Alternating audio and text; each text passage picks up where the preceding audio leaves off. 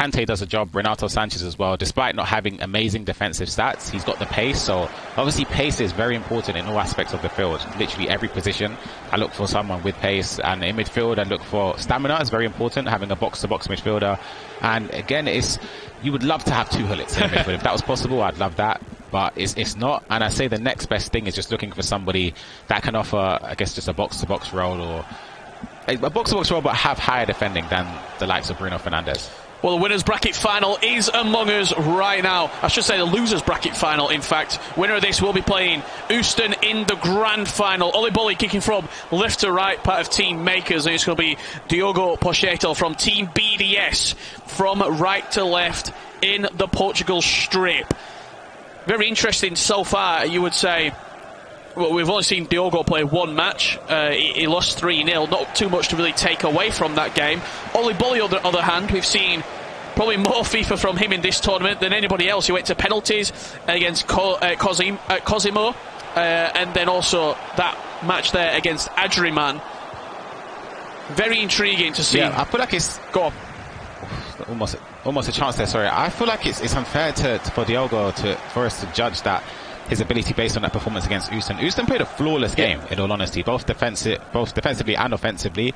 And for Diogo, he'll be hoping to bounce back from that. He knows how good he is. He mentioned in the the preview how good he is defensively. Despite in that performance against Houston, he conceded three goals. But not, that's not to say conceding three goals against Houston is honestly not even a bad thing because the thing is he always uh, prospers with his attack rather than defense. It's just that he was lacking that offensive threat. He was kind of predictable, and he knows that he'll have to step it up against Oliboli. Absolutely, yeah. Just I was saying, we've seen more FIFA from Bolli than any other competitor. And one yeah. thing that I'm really going to take away from those performances that we've seen from him so far he seems to be a second leg player. All of his sort of wins where he's winning the matches, he's coming in the second leg. He's peaking towards the end of the game. Do you read too much into that? Is he taking the sort of information in the first leg and reacting then in the second leg? Chance here for Diogo Peixoto slowly coming in. Gullit with a, a couple of step overs there on the edge of the box into CR7 now. Good defending from Oliboli to clear his lines.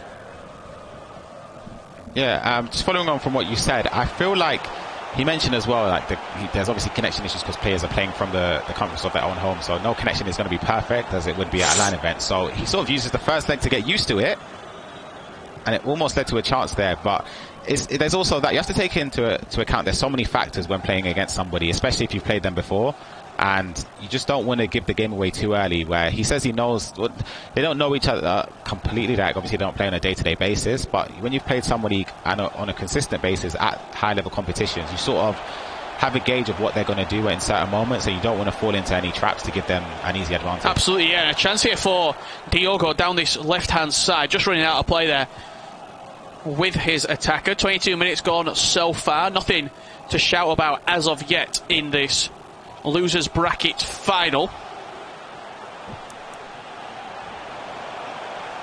Ball out wide, sprayed from CR7. Maybe not the best of passes, but does play out wide to Neymar. Back inside to Patrick Vieira now. Marcus Rashford looking to turn. Just goes backwards into Vieira and now slowly starting to build up through the thirds is Oliboli, but a good interception from Nelson Semedo good interception. I feel like this game is going to be very nervy from both of these players where they know there's a lot on the line. They're both accomplished top three at least in this event. And which is, it comes, a, you get a lot of prize money for it. You get points, which is valuable to try and reach the playoffs this year because on PlayStation, there's no divine right that you're going to reach another event. With so many competitors who even miss out on this event, we've got the world champion Wild, but not even here. There's so many top players who will find it difficult to reach events consistently. You have to remember it's the top oh. six amongst at 1024, and it's amazing. Oh, absolutely! The the instinctive nature from Oliboli right there. As soon as he got into that scenario, he knew that the bridge touch was the next move. Almost chess-like, you could see the manoeuvres happening before his very eyes. He was two steps ahead. He knew when he gets that, that, into that position, the next thing he has to do is the bridge touch, and a great finish from R9. He's mastered the bridge touch, I'll be honest. Both Oliboli and also Ollelito, both Swedish players with the name Oli, have both play, uh, have both mastered the bridge, in my opinion, when I've seen them play. And it's, it's an extremely difficult skill move to defend, especially on the angle, as I always mention, when you've got the likes of R9, you can just push it past the defender when they're flat-footed. They sort of like freeze and it's near enough impossible that for them to backtrack unless you sort of predict it or you've got someone that has good acceleration like Kyle Walker and it gives him the, the lead against Diogo in this game. Yeah, absolutely. Just a, a real work of art there with that bridge touch. you, it sort of, when you see that Oliboli and both Ollelito have mastered that, you now start to put the pieces together and the, the puzzle starts yeah. forming that they're sparring partners and play a lot against each other in Sweden. But Diogo looking to get his first goal on the board here in this EU qualifier. Top three finish guaranteed for him. Cristiano Ronaldo looking to get the seconds off the Neymar shot, but just ricocheting into the body of Oliboli's defenders. Quite a high line from Diogo, from what I'm seeing so far, Ryan. Very high line, and I, I like that because it, it shows that he's trying to press up the pitch, trying to retrieve um, ball, trying yeah, trying to retrieve the ball as soon as he loses it. And I know there's a lot of pros do that as well. I know Shells plays with 10 depth as well, and it's a thing where it sort of suits people. It's it's like having press on possession loss, but not having it on at the same time. Yes. So you could have a high line, and then you can flick on team press. You can squeeze them high up the pitch and force your opponent into making a mistake. And when he does, your attackers are literally right there on the edge of the box or in the box to capitalize on. Yeah, it. it's quite a risky way of playing, but if you can, if you if you if you get to master it, I'll say, and you get to really get comfortable with playing with your defence high up the pitch and team press constantly being flicked on and off. It's a very I'd even say OP way of playing because you get suffocated when you're trying to play out of that. You can't find passes, you can't find passing lanes to play out of, and at the end of the day, you just end up hitting it long, the ball comes straight back at you. Yeah, exactly. This year, as I say, there's a lot of variation with tactics. I don't think there's one exact way to play. Like on, I think last year there was a specific way to play. Um, we just kind of soak up the pressure and hope to, to get a counter attack or a, or something favourable that works for you. But this year, as I mentioned, there's people that play with 10 depth, there's people that play with 1 depth, there's people that play with standard tactics or press on possession loss, press on heavy touch. And I, that's I sort of like that. It's not as varied as I'd like. I sort of I sort of like it where there's a lot more options, but I still can't complain because it's a lot more than last year, in my opinion. Absolutely, Diogo looking to get back in this game. Certainly got the talent on the pitch, and we know that he is a very talented FIFA player himself. He's not in the top three in Europe for nothing. Kante now. Playing back to Ruud Gullit. Looking to create something with Cristiano Ronaldo now. Couple of step overs. Elastico inside the box, just running into the brick wall that is Rafa Varane. That was great defending. Great attacking as well, to be fair. He done well. He bided his time. He tried to wait for a perfect opportunity to get a shot off. But the defending there was very, very impressive, to be honest. And again, you can see that these opponents, they, they know each other, whether it's playing against each other or being able to study the thing. That's the, that's the thing now with the, the regional events where you've got two weeks. If you make it into the top six, you've got two weeks to sort of analyze your opponents who are going to make it or who are, who have also qualified as well. So it, that's sort of favorable in one sense. Just coming up on 57 minutes gone in this tie so far. Patrick Vieira now moving forward with the ball for Oli Bollies. I wouldn't say in cruise control, but he's certainly in a favourable position right now. And that gets sprung over the top from Patrick Vieira, looking to get Marcus Rashford in behind. Just in the end, runs out of play. Great pressure from Ferland Mendy back there.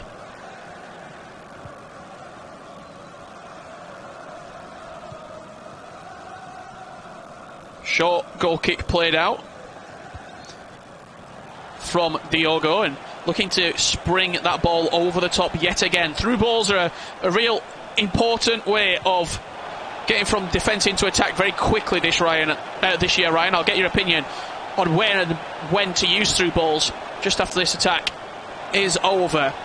Into Neymar on the edge of the box, looking to turn, looking to twist but Joe Gomez wins it back. So talk to me about through balls. When do I want to be hitting the through ball, or when do I want to be trying to keep possession? You sort of, for me anyway, you trigger the through ball instantly for attackers. You don't necessarily have to play the ball. You can use it as a decoy run, so your opponent switches cursor and starts running away to try and block the block the through ball, which allows you to have space because no one's pressing you, so you can sort of transition that way. Or if the opponent doesn't change, you can just spray the ball forward. You sort of Houston, he's as I say, mastered it. If, if anything, he's one of the very few players who I've seen. You could even be tracking the run, but he knows the perfect time to played the through ball. And this is a chance here. And it's a goal here for Oliboli. That's a fantastic work goal. R9 Ronaldo. Who else? What move? What a move from R9 Ronaldo. It, just that turn of pace. As soon as he gets past you, it's a little bit clunky, R9. We all say it when the ball's at his feet. But when the ball's in front of him, yeah. when he's running onto it, he's got the body strength, he's got the body type. He is so hard to get off of it. And I tell you what, in that position, on the angle, is there more of a reliable striker than R9 Ronaldo? I don't think so. He's so powerful, as you said, when he's in full stride. He can power the shot into the corner, and uh, as you said, the, the most the most lethal striker. I have to be honest. I, I love CR7, but R9 is so reliable in front of goal on either foot, which sort of sets him ahead. But it's just about getting him into those moments, and it's those moments are few and far between in competitive games. You don't always get that chance because a lot of players they sort of they would rather allow you to, to have another opportunity with the likes of Mbappe and Neymar, despite how good they are. They'd rather give that up than allow R9 Ronaldo a shot on either foot. But he done well there to open up the space with the skill moves, with everything, with the movement, the dribbling, to give him the two goal advantage. And that right there is why R9's in the squad as well, because and he might get one or two opportunities in a game, but those opportunities, that's what you pay the coins for. That's what you you save up for he's the big premium purchase because when he gets the opportunity in the final third, you can back him, you can rely on him, you can give him the ball in a tight area. He'll be able to do something fantastic. And just the composure and the consistency of scoring goals is like nobody else. Speaking of him, on the ball here, playing into Bruno Fernandes, who's been a very strong player in the squad so far. That's a fantastic elastico inside the box from Cristiano Ronaldo. Oliboli is Starting to turn on the flare right now.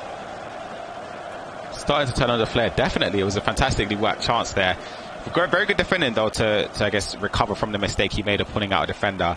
And we also spoke about, I want to touch on with Mike LaBelle, he mentioned Davies as well being used, and it's interesting to see Oliboli using him left midfield. He can, he's so versatile. He can play anywhere. We, Mike also mentioned how some people sub him on in, in the centre of defence, left back, right back. I sub him on personally in centre mid. He's so fast. He can cut the lanes manually, extremely quickly compared to Renato Sanches, Even though he's quick, but 90, I think it's 98 pace on his road to the final card is crazy, and there's a chance. Yeah, here. Ronaldo again putting Walker on his bum. Davies now inside the box, looking for him to turn.